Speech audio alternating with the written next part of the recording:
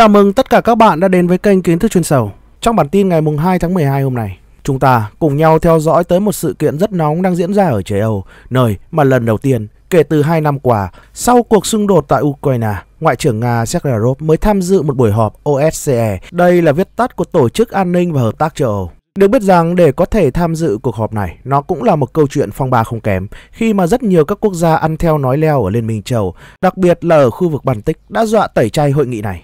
Vâng, họ luôn nói về câu chuyện phải thiết lập một nền hòa bình tại Ukraine, nhưng khi mà người Nga tới đây đàm phán thì họ lại giở trò bẩn bựa. Rất may, các nước ăn theo nói leo này chẳng có giá trị gì trong hội nghị OSCE và những người Nga vẫn được tiếp tục tham dự.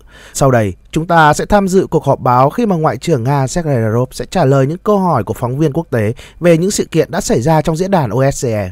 Câu hỏi đầu tiên của phóng viên là, Thưa ngài, Trước thêm cuộc họp cấp bộ trưởng, đại diện Mỹ tại OSCE nói rằng Nga sẽ bị cô lập ở đây. Ngài cảm thấy như thế nào về điều này? Vâng, chính đồng nghiệp của tôi, Ngoại trưởng Mỹ Antony Blinken là người đã bỏ chạy, chứ tôi không đi đâu cả.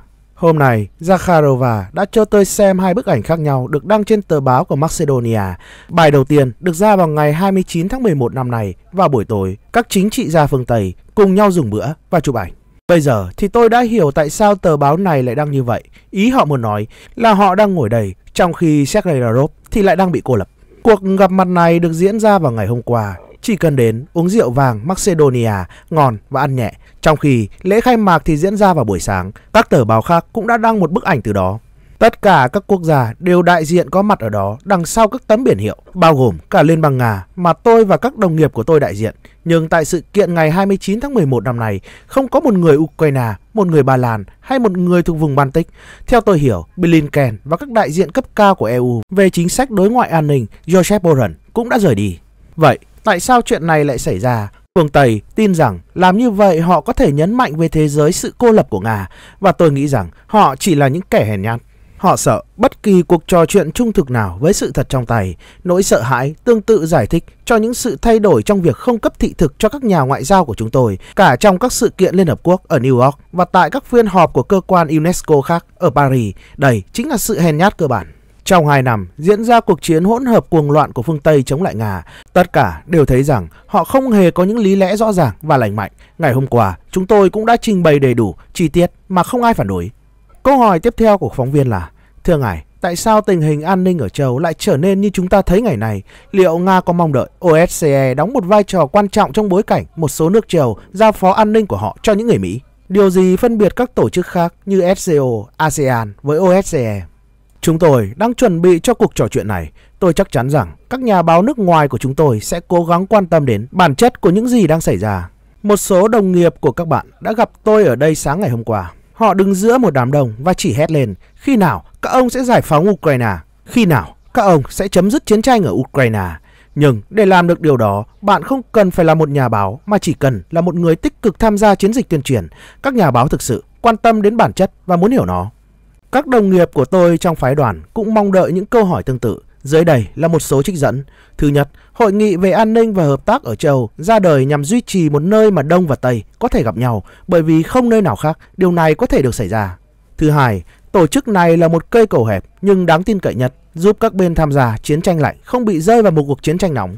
Thứ ba, chúng ta không thể tạo ra cảm giác rằng phương Tây sẽ khuất phục trước mong muốn tái lập khối rất hùng mạnh của mình. Bản chất của khối này là sự thống trị và từng bước thu hẹp biên giới quốc tế xung quanh Nga, biên giới của các liên minh lớn. Thứ tư, việc NATO mở rộng đối với người Nga sẽ có nghĩa là không phải không có lý do biên giới quân sự đang tiến gần hơn tới biên giới của họ. Điều này là không thể phủ nhận và chúng tôi hoàn toàn không mong muốn tạo ra cảm giác rằng chúng tôi đang tìm kiếm xung đột hoặc lý do để chia rẽ ở châu Âu. Đặc biệt là với Nga, một quốc gia không đáng bị như vậy, sẽ rất khó để chúng ta ngăn chặn đất nước này có cảm giác bị bao vây. Điều quan trọng là phải cung cấp sự bảo đảm cho Nga, cung cấp và suy nghĩ thông qua một thỏa thuận thậm chí còn mạnh mẽ hơn nhằm giải quyết các vấn đề trong tương lai giữa Nga và các nước phương Tây. Không có gì có thể tệ hơn việc khiến chúng ta có cảm giác như đang tái tạo lại các khối. Câu hỏi tiếp theo của phóng viên là Hôm nay, ông đã nói rõ ràng rằng ông không tin vào tương lai tươi sáng của hội nghị OSCE. Ông đang nói về sự sụp đổ của tổ chức, rằng nó không còn đóng vai trò chủ chốt nữa. Liệu Nga có định rời khỏi tổ chức OSCE trong trường hợp này không? Trích dẫn rất chính xác. tôi đã nói rằng tôi không quan tâm cuộc họp OSCE hiện tại kết thúc như thế nào. Tôi không biết được bạn đã được đào tạo làm nhà báo ở đâu. Bạn hỏi câu hỏi chúng tôi có ý định rời khỏi tổ chức này hay không. Tôi đã trả lời để bạn trích dẫn chính xác. Câu trích dẫn là tôi không quan tâm tới cuộc họp OSCE hiện tại sẽ kết thúc như thế nào. Tôi biết rằng ở Đức, theo thông lệ, các thành viên của chính phủ phải nói với các nhà báo những gì họ được phép nói. Chúng tôi tôn trọng các nhà báo của mình và để họ tưởng tượng về cách họ sẽ trình bày kết quả của cuộc họp báo. Câu hỏi tiếp theo của phóng viên là Thưa ông, chuyến thăm Macedonia của ông có nghĩa là phương Tây đang bắt đầu nhận ra sự cần thiết phải nói chuyện với những người Nga. Chúng ta có thể nói rằng đã có tiến bộ theo nghĩa này hay không? Thật tốt khi bạn đã hỏi câu hỏi này. Tôi thật buồn cười khi đọc nhiều trên các phương tiện truyền thông, bao gồm cả của chúng tôi, rằng Ba Lan không mời Sergei Lavrov, nhưng những người Macedonia thì có. Đây là sự đánh cháo của các khái niệm. Khi Hội đồng Bộ trưởng OSCE được tổ chức, không ai được phép mời ai đi bất cứ đâu. Nước chủ nhà của sự kiện theo kết quả của nhiệm kỳ chủ tịch thường niên, có nghĩa vụ đảm bảo sự tham gia của tất cả các bộ trưởng và những người đi cùng họ, bao gồm cả các nhà báo. Tuy nhiên, điều này lại đang không xảy ra ở đây. Ngay cả việc trình bày chủ đề này cũng bộc lộ bản chất sai trái trong các hoạt động của tổ chức, vốn trước đây được gọi là an ninh và hợp tác ở châu Âu. Phương Tây đang dần dần, cũng như nhiều vấn đề khác, đánh lừa dư luận rằng họ có thể gọi Sergei Lavrov tới hay không. Họ không có quyền được mời ai tới. Chúng tôi không cần phải có lời mời. Những quốc gia tham gia thông báo rằng họ sẽ bay vào ngày như vậy, trên đường bay như vậy, trên chuyến bay này, vui lòng đảm bảo các chức năng của nước chủ nhà, đó là tất cả. Câu hỏi tiếp theo của các phóng viên là Thưa ông, Tổng thống Zelensky tuyên bố rằng Ukraine đang chuyển sang xây dựng các công trình phòng thủ dọc theo toàn bộ chiến tuyến. Ngài nghĩ rằng điều này nói lên điều gì? Chế độ Kiev thực sự thừa nhận thất bại và từ bỏ kế hoạch phản công. Tôi đã đọc được tin tức về vụ việc này. Tôi cho rằng người lãnh đạo chiến dịch quân sự đặc biệt của chúng tôi biết nó đang đạt được những mục tiêu gì. Nó được giám sát liên tục bởi Tổng tư lệnh tối cao. Chúng tôi không thấy bất kỳ lý do nào khiến mục tiêu của chúng tôi sẽ cần phải được sửa đổi. Nếu chỉ vì mục đích đưa những người này trở lại thực hiện hiến pháp của chính họ, thì cuối cùng báo chí phương Tây cũng sẽ lại gây ồn ào một lần nữa. Tại sao ư? Giải pháp làm nền tảng cho nhà nước Ukraine đã bị trà đạp nhiều lần trên thực tế và tất cả các phương tiện truyền thông phương Tây bằng cách nào đó đều im lặng.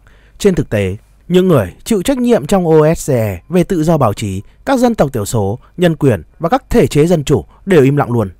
Câu hỏi tiếp theo của các phóng viên là Trong bài phát biểu của mình, ông đã cáo buộc các nước phương Tây và các nhà ngoại giao phương Tây phá hoại nguyên tắc cơ bản của OSCE. Ông cũng nói về sự đạo đức giả lớn liên quan đến tình hình ở Ukraine. Đơn cử, ông đã nói rằng một điệu nhảy phải cần có hai người, giống như một cuộc đối thoại, cần có hai người tham gia và trong trường hợp xảy ra xung đột vũ trang, luôn có hai người trong số họ. Về việc Nga gây hấn ở Ukraine, ai đang tỏ ra đạo đức giả hơn, các nước phương Tây, Nga hay cả hai bên. Khi nào thì ông lấy tư cách của một quốc gia thừa nhận trách nhiệm của mình đối với tình trạng của OSCE về việc phá hoại các thể chế quốc tế được thiết kế để đảm bảo an ninh ở châu Âu, phá hoại hòa bình, ổn định ở khu vực châu Âu nói chung. Bạn có thể công bố câu hỏi của mình, điều này sẽ được các nhà lãnh đạo của các bạn hoan nghênh. Các đồng nghiệp tới từ phương Tây của chúng tôi rất thích hủy bỏ văn hóa. Những người gần đây đã bắt đầu được đưa vào thế giới văn minh dưới hình thức Liên minh Triều và Liên minh Bắc Đại Tây Dương đang tích cực học hỏi từ họ. Tôi đã đưa ra những ví dụ về việc ở Ukraine họ đã tiếp thu và xóa bỏ mọi thứ có liên quan tới tiếng Nga như thế nào. Họ thậm chí còn bắt đầu tiêu diệt một cách hợp pháp mọi thứ của Nga vi phạm hiến pháp và thể chế. Một loạt các linh mục giáo hội chính thống Ukraine đang bị giết ở đó. Những gì phương Tây không thích đều sẽ không được phép tồn tại. Văn hóa hủy bỏ này cũng được áp dụng cho việc hình thành các cơ quan chính trị. Chẳng phải vào tháng 2 năm 2014, một cuộc đảo chính đẫm máu diễn ra ở Ukraine, họ có cần quan tâm đến Đức, Pháp, Ba Lan, những quốc gia khác nghĩ gì hay không? Hành động đầu tiên của những người làm đảo chính lên nắm quyền sau khi được Mỹ và Anh ủng hộ là tuyên bố sẽ bãi bỏ địa vị của tiếng Nga. Trở lại về vấn đề bàn càn, như trong trường hợp các thỏa thuận mìn khi Pháp và Đức tuyên bố là trung gian thay mặt Liên minh châu Âu và EU cũng đóng vai trò trung gian hòa giải giữa Belgrade và Pristina trong việc nhất trí về quyết định thành lập cộng đồng các đô thị Serbia ở Kosovo. Đó là vào năm 2013 và các thỏa thuận mìn đã được ký kết vào năm 2015 trong khoảng thời gian tương tự. Trong cả hai trường hợp, Liên minh châu đều làm trung gian và những cuộc hòa giải này đều không có kết quả nào. Sự bất lực xuất hiện trong những tình huống như vậy. Không có chủ đề nào có thể cắt bỏ được nguyên nhân gốc rễ của một tình huống cụ thể. Chúng ta đã nói về nguyên nhân của cuộc khủng hoảng tại Ukraine trong nhiều năm, cảnh báo về việc không thể chấp nhận việc mở rộng NATO, nhưng không một ai lắng nghe chúng tôi và rằng chúng tôi không thể nào chấp nhận một chế độ Đức Quốc xã mới lên nắm quyền sau cuộc đảo chính. Quốc gia này buộc phải tuân thủ các thỏa thuận mìn, nhưng một lần nữa không ai lắng nghe chúng tôi. chiến dịch tuyên truyền đã được triển khai tích cực. Tất cả ấn tượng rằng nước Nga thức dậy vào buổi sáng và bắt đầu quyết định chiến dịch, trong khi chúng tôi đã nói về việc này nhiều năm trời. Tác hại của việc hút Ukraine và NATO và tạo ra một mối đe dọa quân sự trực tiếp đối với Liên bang Nga ngay trên lãnh thổ của Ukraine.